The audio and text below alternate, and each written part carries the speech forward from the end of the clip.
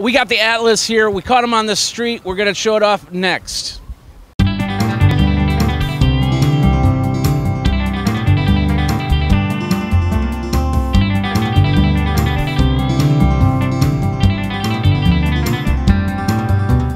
Hey everybody, Jeffrey Powers with Geekazine at South by Southwest, where we do interviews on the street and we do interviews in buildings and stuff like that. Now, I, I heard about this.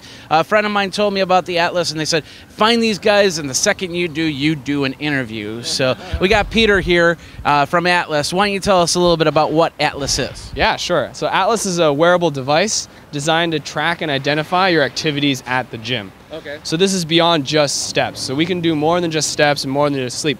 We can actually tell the difference between uh, push-ups, triangle push-ups, bicep curls, squats, deadlifts, you name it. Your entire workout can be automatically tracked for you. Okay, so how does that work? Yeah, great question. So we have inertial sensors jam-packed in here. So with, with these aircraft grade Jam packed in there. jam packed in there. Yeah. So uh, we essentially map out the 3D trajectory of your wrist. Okay. So if you imagine a paint dot on the device, and everywhere you move, it will leave a trail of paint. Okay. We can essentially map those out and assen- uh, specify the specific motion fingerprint of each exercise. Why the design? It's a very interesting design from other wearable technology. Yeah, definitely. So a lot of our design uh, goals are really based around the interaction and the experience for the user. Okay. And we certainly believe uh, getting live and real-time feedback on your wrist is important. It saves you an entire time of taking your phone out of your pocket Yeah. and really makes the relationship between the user and Atlas much more intimate.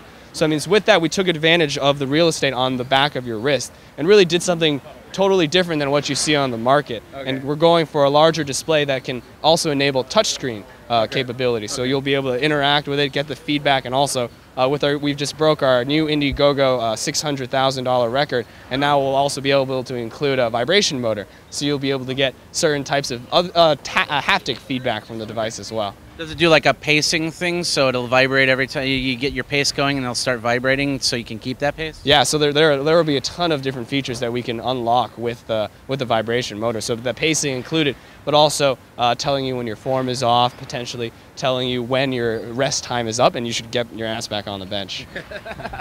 And it, it also tells you when, it, when it's time to rest too, right? Yep. Yeah. So I mean, we have this really cool thing called dynamic rest. Yeah. Uh, so instead of just resting a fixed amount of time after each exercise, with the optical heart rate sensor on the back, we can actually tune your rest such that uh, it's really when your heart rate reaches uh, uh, uh, decreases back to 70% of maximum to really get you back on the exercise machine Okay. when your body is ready for it. Of course, you said runners. Uh, is this also a waterproof watch? Yeah, so this is really cool. So it's uh, 50 to 100 meters water resistant, and uh, it's also we also are pushing the convenience of micro USB. So this will be one of the first devices out there that has a micro USB, but still be 50 to 100 meters water resistant. And how deep for how long?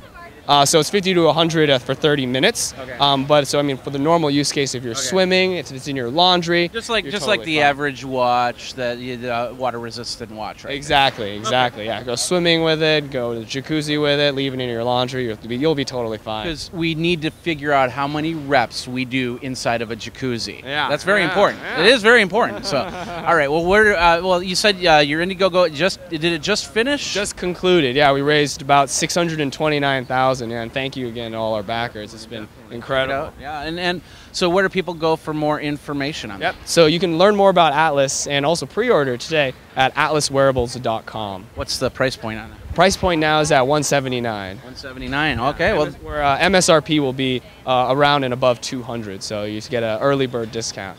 uh, iOS, Android compatible Windows Phone or anything like that? So launching with iOS, Android will come shortly thereafter, uh, and Windows Phone after that. Well, there you go, Peter. Thank you very much for Thank you, thank you so much. Bet. Well, there you go. Atlas Fitness Watch.